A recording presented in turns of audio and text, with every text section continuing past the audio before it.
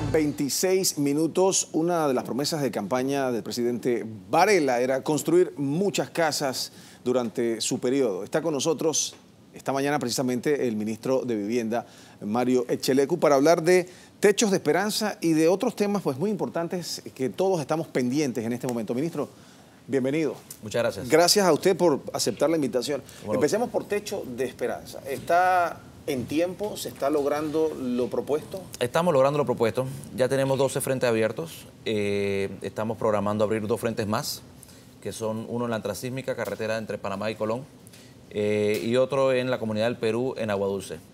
La idea con estos 12, con estos 14 frentes permanentes que vamos a tener es lograr eh, impactar comunidades marginales que tienen problemas no solamente de, de déficit habitacional, de desigualdad en las viviendas, sino también un poco el tema de la, eh, de la violencia, porque esto genera empleomanía, esto genera empleo en el barrio. Cuando usted habla de frentes, eh, son proyectos, obviamente. Son frentes permanentes, o sea, te lo, te lo explico ¿A qué se refiere y, y de qué cantidad de, viviendas estamos hablando en cada uno de ellos? Estamos hablando que la sumatoria de los 14 frentes eh, genera, y lo que ya tenemos inventariado, genera la construcción de las 5.000 viviendas que nos hemos comprometido para este año. Sin embargo, eh, por instrucción del presidente. ¿Son eh, mil por, van a ser 5 mil por año? Así comenzamos este programa, pero el programa ha tenido este éxito y ha tenido una, ahora tiene una demanda. Mucha gente, muchas comunidades lo están pidiendo. Eh, estamos abriendo cerca de 40 frentes más, más chicos que van a ser tipos satélites en diferentes distritos del interior. Eh, y, la idea, y la idea con esto es poder agarrar e impactar más comunidades. Porque bueno, la intención que tenemos es poder crecer lo suficiente el programa para poder impactar la mayor cantidad de viviendas. La gestión pasada tenía piso y techo. Sí. ¿Este sería el sinónimo de piso y techo? No, ni parecido. Ni parecido. no, ni parecido. Eh, ese funcionaba con viviendas individuales a personas específicas. ¿Estos son proyectos de comunidades? El programa, el programa, el, Ministerio de Vivienda tenía antes varios programas, que era de financiamiento de materiales, entrega de materiales y eh, eh, la, contratación de, por, por medio de sus contratos de diferentes viviendas. Nosotros no estamos haciendo eso.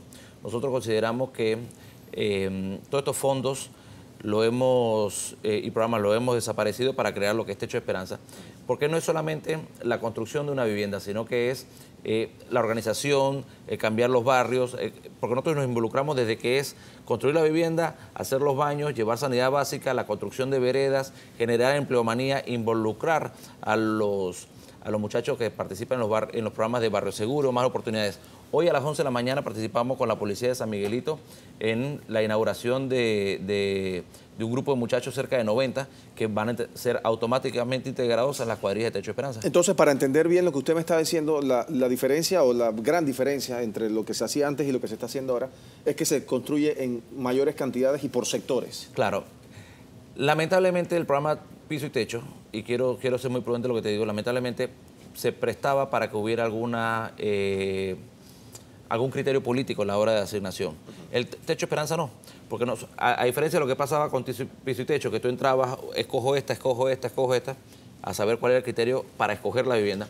lo que hace Techo Esperanza, perdón, es, es entramos a una comunidad y son 600 casas, listo, se peinan las 600 casas y se acaba el problema. O sea, no hay una, es una forma de evitar que se cree una especulación, incluso que subalternos de uno puedan, puedan tener alguna preferencia a la hora de ayudar, no, es que se ayuda a todos. Cuando usted habla del tema político, por ejemplo, cuando se llegan a estos sectores que muchas veces, pues obviamente los representantes, los diputados, pues conocen muy bien su área y saben dónde están estas deficiencias. Correcto. ¿Cómo está haciendo el MIBI en ese sentido para trabajar con funcionarios de gobierno y de oposición. ¿Hay una diferencia? No, ¿Se está tratando en lo absoluto. Eh, eh, es más, quiero ser muy franco, la instrucción del presidente de la República sobre este tema ha sido muy clara. Nosotros trabajamos, o sea, estamos para trabajar, no estamos para hacer política. Eh, y claro, yo creo que en los diferentes frentes que hemos tenido, que hemos podido impactar con Techo de Esperanza, es más, la mayoría de los alcaldes, la mayoría de los representantes con los que nos ha tocado conciliar algunos puntos, algunos lugares de trabajo, eh, son de cambio democrático y son del PRD. O sea, y la realidad es que las relaciones son muy amenas, nosotros participamos mucho. Cualquiera persona, cualquier autoridad eléctrica, electa responsable, que sabe que hay una, hay, una, hay una necesidad en su comunidad, ¿cómo no puede estar feliz, cómo no puede estar agradecida que el gobierno central mire esa comunidad y le lleve una solución como Techo de Esperanza? O sea, eso, eso es lo que las autoridades responsables, no importa el partido que sea, debe estar interesada y preocupada. Hablando de proyectos, Colón era como el proyecto insignia, cambiar la ciudad completa. Tengo entendido que hoy hay una homologación para empezar ya la licitación. Como todo, proceso de, como todo proceso de licitación, eh, y una licitación tan amplia como la que es eh, de Colón, lo que hacemos es que nosotros llevamos eh, dos visitas a campo. Una que va orientada a Alto Los Lagos, donde se van a construir las 5.000 viviendas, y otra que es en el centro de la ciudad, lo que es renovación urbana, que es toda la reconstrucción de la infraestructura y la renovación de varios edificios con valor histórico. Eh, esas dos reuniones en campo ya se hicieron, incluso yo eh, pude, participar en una de ellas, pero el día de hoy lo que hay es una reunión de homologación, es donde todos los, los interesados en participar en la licitación que se va a dar el martes 7 de, de, abril, van a presentar ya su propuesta final. Eh, donde en base a la información que ustedes les den hoy de los requerimientos. Bueno, en base, en base eh, a, a, lo que se levantó en el pliego, a lo que se ha levantado en las diferentes adendas, porque se han presentado varias adendas, en lo que resultó de las dos visitas a campos y por supuesto lo que va a resultar el día de hoy. Este es un proyecto que puede estar entre los 400 o los 500 millones especulando un poco. ¿Esto se lo va a ganar una sola empresa? O esto va a estar repartido en diferentes bueno, es puntual, Ok, lo que te quiero contar es una cosa. Nosotros hemos hecho ya eh, 12 licitaciones en, en, Colón, Ajá. que son desde renovaciones de edificios mayores o menores, e incluso la construcción de proyectos nuevos e incluso... Y esto es aparte, esto es aparte de este gran proyecto. Esto, esto es aparte. Lo que pasa con renovación urbana, que sí tiene que haber una, una coordinación entre los trabajos que se van a hacer dentro de la ciudad y lo que se van a hacer fuera, porque en algún momento hay que coordinar la mudanza de las familias beneficiadas de este programa y las que se van a optar por allá. Entonces, sí, sí hay un tema logístico por el cual es una sola compañía y además se necesitaba que fuera una compañía la que se hiciera responsable de este tema. ¿no? Pero esta compañía, o sea, tiene la capacidad, la que gane debe contar o va a contratar a otras más pequeñas. Mire, yo te voy a decir una cosa. A mí, a mí me han visitado montones de compañías, a todas se les ha dado el espacio, a todas se les ha dado eh, cortesía para, para conversar. Y todo me, llama la atención porque todas agarran, me presentan, los, me presentan los currículos, me presentan todas cosas. Y yo considero que todas las compañías que, han asistido al Ministerio de Vivienda tienen un currículo amplio para poder eh, ejecutar este trabajo. Sin embargo, en los pliegos hay las condiciones establecidas que las empresas deben cumplir para poder calificar. Condiciones financieras, condiciones de prueba ácida, condiciones de experiencia, condiciones de, garantías. O sea, lo que, debe ser y lo que, sea que por, eso se hace una evaluación separada. Eh, ellos ese día van a tener que presentar dos sobres, uno que es toda la propuesta técnica con, la, con las condiciones financieras además y lo que es la condición del precio. Se evalúa las condiciones técnicas y sobre esos el que califique y cumpla se le da unos puntajes como está establecido. ¿Cuándo se conoce eso? Bueno, ellos tienen que presentar los sobres el martes 7. El 7 de abril. El, martes 7 de abril, ahí entra la que es la evaluación eh, técnica. No me, quiero, no me quiero disparar el pie, como decimos, porque depende mucho de cuántas compañías participen, porque la evaluación puede demorar más si son tres compañías, si son diez compañías, porque es un proceso de evaluación. Pero créame que es interés del Ministerio y Gobierno Nacional hacer la evaluación lo más rápido posible. Ok, eh, tengo varias preguntas, por eso quiero caminar bastante rápido. Eh, la Sarina Anticorrupción eh, se quejó en estos días de que el MIBI el año pasado utilizó fondos del PAN en medio de toda esta situación y todas estas investigaciones de corrupción que se están dando y conducciones, etcétera, encarcelamientos. Y vemos al MIBI que también entonces utilizó fondos el año pasado durante la nueva gestión. Te, explico, es muy, es muy sencillo. El, cuando nosotros entramos a la, a, la, a la, administración, veníamos con un presupuesto del 2014 que había, se había generado en la administración pasada. Este presupuesto lo que no, contemplaba un programa como Techo Esperanza. ¿Por qué? Porque no era parte del programa de gobierno de, de, la administración anterior.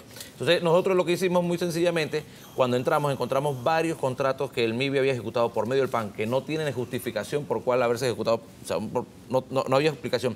Incluso nos encontramos que habían eh, anticipos eh, había avances de cuenta y calidad de construcción, que todo era deficiente y todavía todo tenía que ser revisado.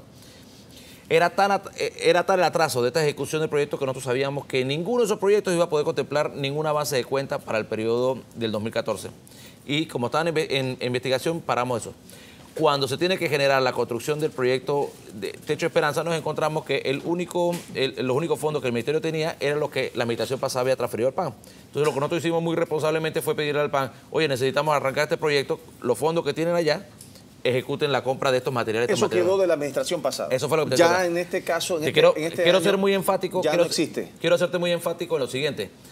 Nosotros en el 2015, para el 2015, esta, esta administración hizo su nuevo presupuesto programando Techo de Esperanza. Antes que acabara el mes de febrero, nosotros ya habíamos ejecutado poco más del, casi el 98% de todos los actos públicos. Bueno, por supuesto ahora están en adjudicación, refrendo de Contraloría, pero nosotros como, como, como administración, para lo que es Techo de Esperanza, hemos ejecutado casi todas las compras previendo los trabajos que tenemos que hacer. Y ninguno se va a hacer ni se hará por medio del PAN. Yo coincido que, que, ninguno de los ministerios, eh, a menos que surja realmente una razón de urgencia, no debe usar, ministro, usar el, PAN. Separemos al ministro del constructor, eh, del desarrollador. Eh, usted ha estado en la construcción por muchos años. Hay una queja, hay un sentir en este momento de que los proyectos están estancados, los proyectos de la empresa privada sobre todo. ¿Usted ha percibido eso como en su empresa? No te puedo... No, se están dando permisos, no te puedo No te puedo contestar esto. No puedo obviar que soy ministro, así que te tengo que contestar tratando de entender y siendo muy responsable. Sí hay una realidad, hay una realidad que ha entrado en una administración que, nos ha tocado ordenar en múltiples ocasiones. Eh, el caso mío del MIBI, hemos ordenado la casa, por así decirlo, metiendo más personal, entendiendo dónde eran las deficiencias y mejorándolo. Pero también entiendo de que hay otras instituciones que no solamente dependen del gobierno central, digo, porque la gente podrá decir eh, MIBI, ANAM, MOB, IDAN, todas estas cosas que son parte de la, de la tramitología, pero también están los gobiernos locales. Y yo creo que es mucho, mucho de esta responsabilidad recae en los gobiernos locales. Los gobiernos locales tienen la, la, la jurisdicción de lo que es la ingeniería municipal, que son claves. En el caso de la ciudad de Panamá, estamos hablando que yo creo que cerca del 70% de los proyectos de construcción se generan por medio de la, ciudad de Panamá. Pero se habla que el municipio precisamente no está dando los permisos bueno, yo, en un tiempo rápido y prudente como, sucedía en el pasado. Yo quiero decir, yo quiero decir que, en conversaciones que he tenido con el alcalde Blandón, sé que él tiene una, un interés por, por agilizar este tema. Eh, lo hemos hablado. ¿Y qué, obstaculiza entonces en este momento? La verdad que no me puedo meter en ese tema porque es un tema puntual de, la alcaldía, pero sí lo hemos recibido, eh, eh, ese tema, hemos participado en reuniones conjuntas con ACOBIR, con, con, CAPAC, y hemos escuchado esa preocupación de los empresarios y cada uno ha puesto de su, de su parte el compromiso de ver cómo cada uno mejora esas cosas. ¿no? Ministro, antes que se me vaya y rápidamente porque el tiempo se nos viene encima, hablan de cambio de gabinetes. ¿Eso es cierto? Que se va el, ministro Arrocha, el ministro no, No, mire, yo, yo, yo, creo, yo creo que yo creo que, que eso no, no, no, procede. La verdad que creo que además creo el, a nivel de presidencia ya sacaron un comunicado desmintiendo, desmintiendo eso, eso bochinches, esos run, eh, la verdad que uno se divierte mucho. Es cuento. Bueno, seguro que es cuento. Yo, uno se divierte mucho. A mí cada vez que sale un run run de esto, sale una glosa uno no se da ni cuenta y tengo 50 chats sobre ese bochito. ¿Hoy, es, ¿hoy hay reunión de gabinete? Sí, correcto. ¿Usted, eh, hoy se va a tocar el tema del nuevo eh, magistrado que reemplazará a Moncada? Eh, no lo vi. En la última agenda que me mandó, que se me mandó de presidencia para el Consejo de Gabinete, no lo vi, así que no estoy seguro si ese tema se va a tocar el ¿Y día ustedes tienen realmente injerencia en eso como, como Mire, ministros? Yo, yo la verdad creo que ha sido algo, esto que pasó, ha sido algo como que nos agarró a todos de sorpresa porque nadie sabía cuándo se iba a dar o cuál iba a ser la reacción de si, el señor Moncada se declara culpable o no. Eh, yo creo yo creo que el presidente tomará o, el Consejo de Gabinete tomará una sugerencia en, el momento pertinente. Ministro, se me quedan varios temas por fuera, pero bueno, el tiempo eh, apremia en este momento y, tenemos que seguir avanzando. Gracias por la visita, un placer tenerlo por Gracias, acá. Gracias, muy amable y ojalá pues regrese en un futuro no muy lejano.